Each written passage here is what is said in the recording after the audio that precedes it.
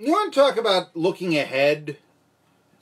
And I, like I said, my heart, I'm a baseball guy. I played it and allegedly played it uh, when I was a kid. Marky Billson, Tri City Sports Now. The uh, station is, of course, 1420 WEMB Sports Radio, which you can also listen to at www.jetbroadcasting.live or like us on Facebook. Because you like us on Facebook, we're about ready to go to 1,500 Facebook likes. We've got that many followers. We're about that. I think it was 10 shy of that this morning. Okay. You like us, first of all, we're giving away four free Dollywood tickets in four days. We're going to have a drawing. Still plenty of opportunity. Your odds are still going to be real good to win those four tickets to go to Dollywood. And here's what I like. I used to always say, we've got the best prizes here, as well as the best guests and the hardest hitting opinions on Tri City Sports Now. But here's the situation. You take a look at what we're doing here, and we're giving away four free Dollywood tickets. I know we have got a competitor out there. Okay, yeah, we've got a competitor. He's giving away two. Now, think about that. I'm, I'm letting you take your whole family down there.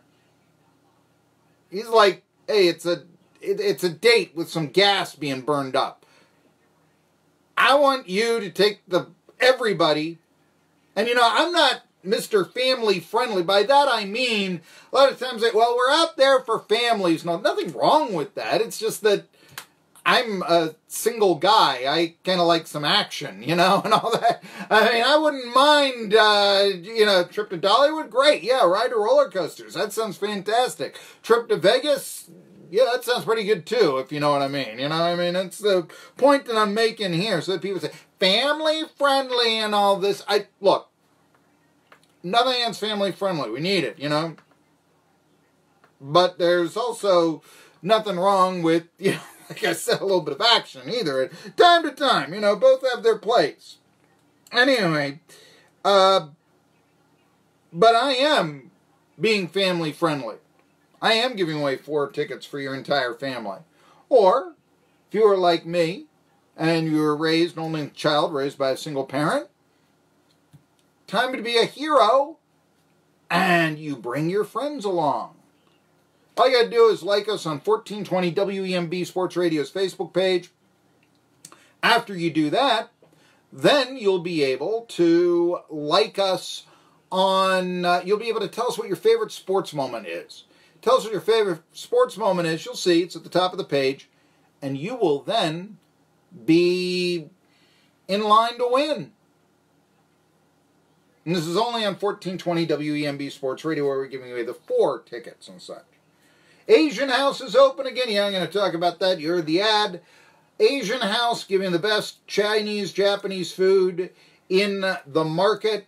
They're in Johnson City, Shops and West Market, like you're driving to Jonesboro. Go there for their Happy Box meal. Get 10% off for naming Marky Billson. They're reopening today. They have that lunch menu. Nothing. Check it out. GoAsianHouse.com and get 10% off for mentioning my name.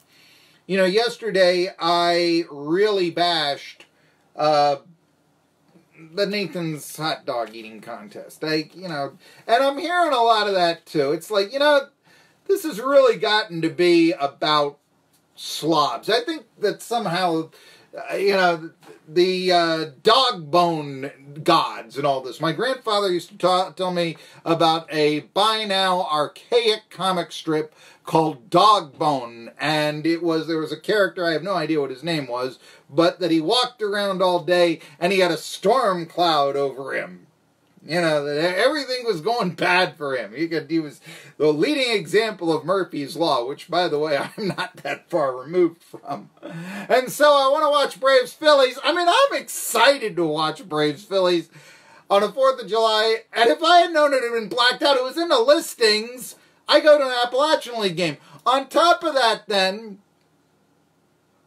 what happens? Then I have to read and what do they put on? Because it is Black Death, they rerun the Nathan's hot dog eating contest. I mean, somebody was against me up there. And know, somebody uh, somebody up there doesn't like me, that sort of. Thing. Anyway, you know, this is Peter King came out and basically said, in a lot of ways, what I said, which is a hot dog eating. Now he came up with this whole, you know, one in every five children in the country sob story goes to bed hungry, and that's not true, but uh, nevertheless, it did shed light that this is really boorish behavior, competitive eating.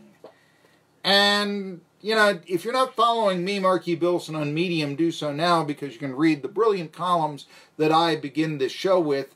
And the other thing is that I make radio visual not only by putting this show on Facebook Live, or you can actually see it on my YouTube channel, Marky Billson, uh, some of the select archives. By the way, we put up all the Drew Rice shows from our high school footballs uh, broadcast. We put them all up on YouTube.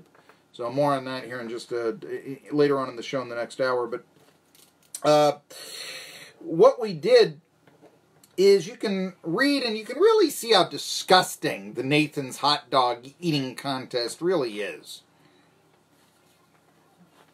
Not that going to Nathan's or having a hot dog or whatever, but I mean, really, and Peter King picked up on this and he went off on the documentary that ESPN, that is the most self serving thing. You want to talk about why ESPN fails. And ESPN does do this, and I've mentioned this many times. We're going to have, we, we already are having basketball shoved down our throat. We're going to have basketball shoved down our throat for years because their contract, they pay more for it than the NFL, and it lasts until 2025. So that's why we watch the Summer League starting Sports Center instead of Major League Baseball. And that's why I can't watch Sports Center. I, I cannot watch ESPN anymore unless there's like a game on or something like that.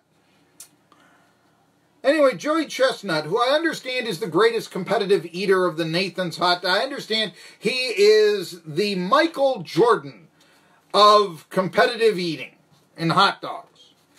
What a distinction. Six foot one, 230 pounds. That's what he is listed as. And he responded to Peter King, he's football writer, if you didn't know, a criticism of the hot dog eating contest, which he called truly disgusting, and said, this is what Chestnut said to TMZ. Not the local sports section, not Tri City Sports Now, not Fox Sports, to TMZ. I'm an athlete. I think Peter King, he's kind of narrow minded. He's picking low minded fruit. It's easy to criticize. You're not an athlete. You eat. Artie Donovan was an athlete not because he could probably out eat you, and he used to joke that he did, but because he played defensive lineman for the Baltimore Colts and was good at it. You cannot play defensive line for the Indianapolis Colts, Chestnut. You go to lunch. That's what you do. And I'm not big on this, he's not an athlete. I'm not big on this, race car drivers aren't athletes. I'm not big on this, chess players aren't athletes. I mean, yeah, I'm not big on that. You, Chestnut, are not an athlete. Give me a break. Let me tell you something else.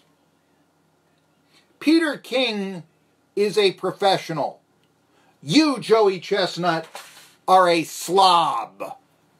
And if I sound narrow minded on. No, I'm not narrow minded. I'm telling it like it is. That's the absolute.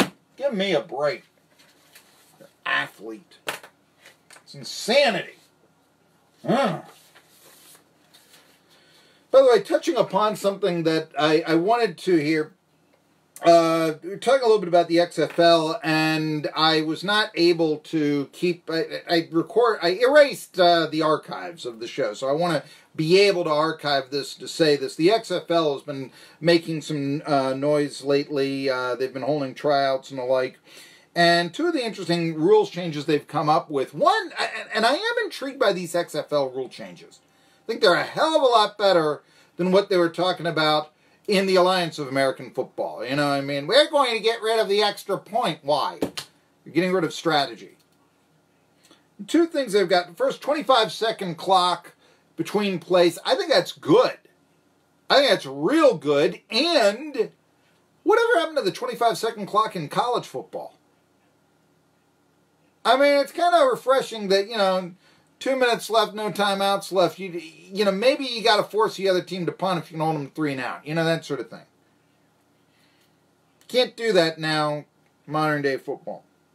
But the XFL do that. That's a rule change I like. They're also coming up with an overtime rule. I'm not big on overtime. You know, I've said this a million times. I'm not going to bore you again if you haven't heard it. But if you haven't heard it, just do this. Marky Billson, a call to end overtime in college football. Put that in your Google. Okay, Marky Billson overtime or something like that. M A R K Y B I L L S O N. Uh, I wrote a story a few years ago for Saturday Down South, and it'll just explain my feelings on what why I hate football overtime. I think it's a gimmick. Nowhere is it more of a gimmick than in high school and college football where field position isn't earned. They're not going to let you earn field position, allegedly, in the overtime of the XFL, the new XFL, but I kind of like this idea because I think there's more strategy to it. And the idea is put the ball at the five. Yeah, I'm rerunning what I said yesterday. What I did, worth, it's worth repeating. Put the ball at the five, have him run five plays. Do it both ways. Whoever scores the most points wins. Now, I guess there's a possibility for what? Uh, if you score a touchdown on all the plays, would you get a conversion? It's a question I asked. Would you get a conversion?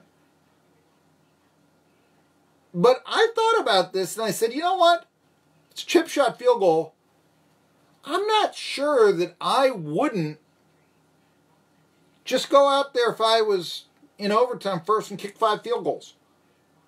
Because you're talking about fourth and five without a whole lot of real estate to operate. I mean, you can't throw a long. You don't. You, you don't have to keep the safeties back to guard against a long pass when a ball is at the five yard line. And you're saying if I can stop you on three of five downs, then you know what? I'll win the game if I kick a field goal all the time. Now, admittedly, I mean, if let's say you were to uh, score a touchdown in your first two tries, you know, all you'd have to do then is bring out the field goal unit and you could win the game that way. But I mean, there's a legitimate, hmm, what should we do strategy here?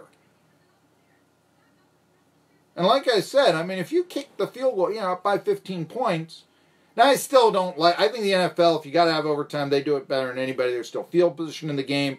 They've now made it where there's 10 minutes uh, left, so it's uh, quick hitting, and you know you had situations like in the Brown Steelers tie this past year where uh, it was a very competitive minute, and just basically because of a muddy field and the kickers couldn't uh, uh, work on it, it, that's why it ended in a tie. I'd rather have that work that way than I would have it work uh, where there is no real strategic element.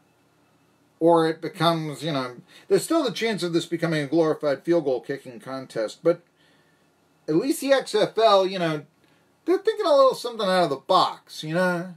And they're thinking about a way to improve strategy. I like the idea that when Vince McMahon talked about this, they said, if we were inventing football today, would we have uh, halftime? I thought that was great. You want to know one of the things that I think kills hockey, it's got two half times. It's got the two intermissions. Resurface the ice. I do think that that hurts hockey.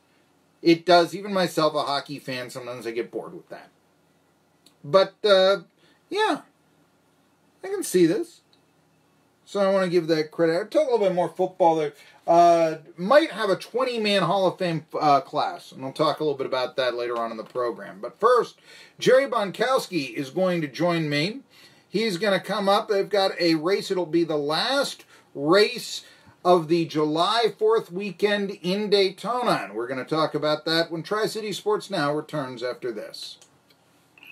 1420 WE